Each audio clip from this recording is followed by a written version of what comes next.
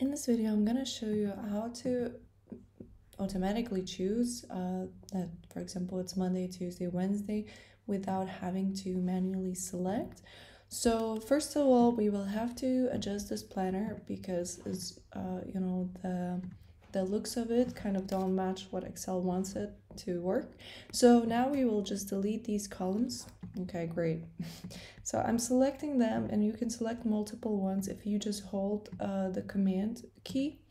And so I'm selecting multiple ones and then I can delete them. And then what I'm gonna do here is I need um, cell that's empty from the dropdown and the easiest way to do that is to just copy a cell that doesn't have a dropdown. So for example here I don't have a dropdown. I'm gonna copy it and paste it and then that's it. That's what we need for the cell to work. So now what we're gonna do is we're gonna write Monday here and you write it either with the capital M or not the capital. But the most important thing is that there's no spaces in between. It has to be just Monday for Excel to know that that's Monday. And then what we're gonna do, we're gonna choose this square thing here and we're just gonna drag.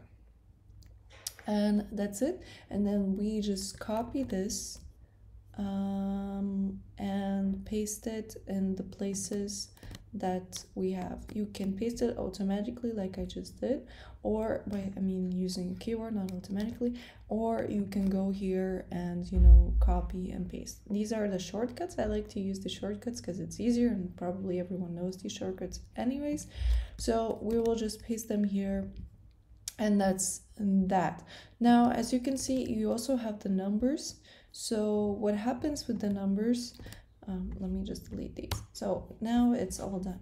What happens with the numbers is that again the same thing. If you have any additional things then it doesn't work. But if I for example write one and that's it then I can just uh, choose this square again drag it and it automatically updates the numbers for me. Um, so yeah that's how you do it.